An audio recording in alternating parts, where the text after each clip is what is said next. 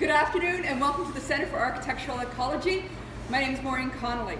We have a lot going on in the lab today. We're going to give you 60 seconds and show you three different graduate student research projects. Here we go. Project number one today. This is Joyce Mak, graduate student in MEng. Wilbur and Dale from Euroline Windows. Euroline is helping us on this project. We're taking a standard window, three different types actually, double pane and triple pane.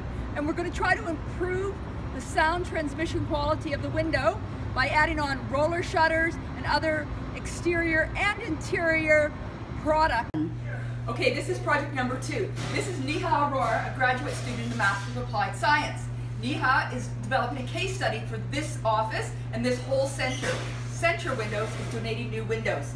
So Neha is analyzing the sound transmission of the existing windows. She's also going to look at the thermal performance of the existing windows with infrared, try to correlate the two. And when we get the new window, she's going to do that all over again. Okay, here's project number three of the day. This is Sepideh. Sepideh is a Master's of Applied Science student here at BCIT, and, and Michelle's here helping out. They're planning up these living walls. There's quite a few systems here. They're going to be moved over to the CIRS building at UBC. Sepideh is working on uh, data collection and modeling of the impact of living walls on indoor air quality and on the acoustical impact living walls inside different spaces at the CIRS program.